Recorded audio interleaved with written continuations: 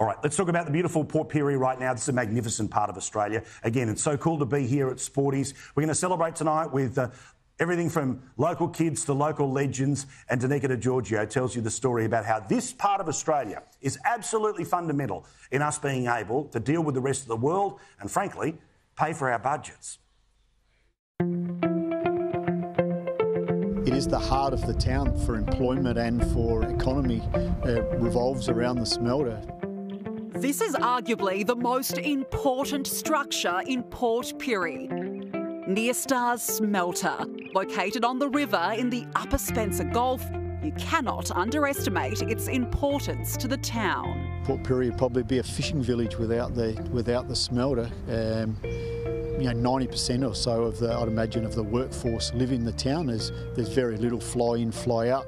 Dale Afford got his first job at the smelter just before his 16th birthday and has watched the operation grow into what it is now. It's been running for more than a century and is one of the largest smelters in the world. It produces a number of metals, mainly lead and silver, to export nationwide. There's battery companies within Australia that use the lead and uh, tubing companies within Australia that use the copper and then a lot of the uh, acid is used within Australia for the fertiliser they don't call this the city of opportunity for nothing. The smelter employs over 800 people and 300 contractors. It's the lifeblood of the town. Port Pirie holds a special place in Australia's resourcing history. And what better way to learn more about its industries than by road?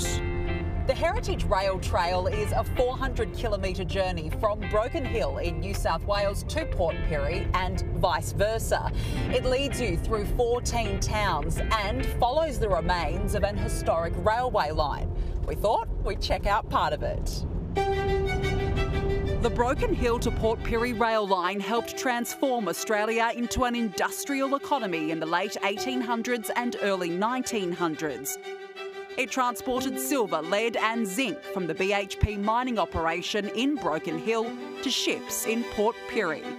The problem was how to get it from the outback to the rest of the world, hence the trail.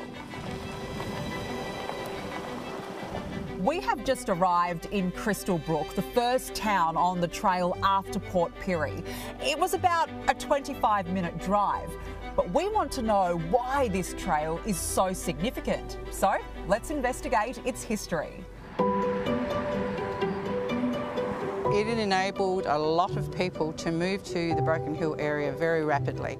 People from Adelaide could then go up and within a year or two there, there were thousands and thousands of people there. So then that created the need for laundries, pubs, um, all of the things that go with the town and then the infrastructure followed.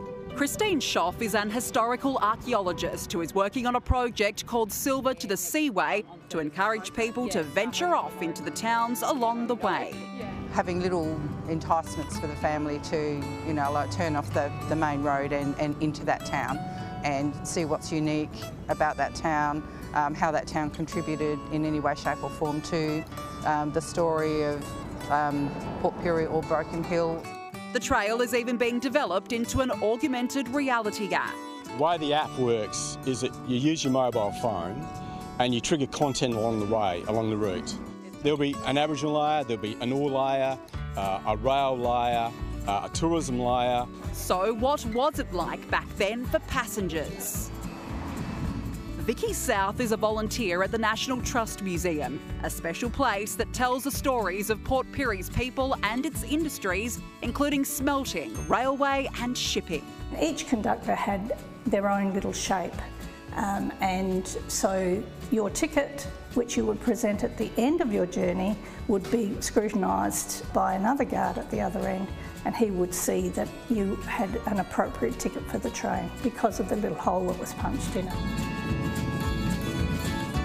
Port Pirie is a regional service centre with mining and exploration at its core, a strong base and a ready workforce, so why not explore its mineral rich history for yourself you never know what you might see in Port Pirie.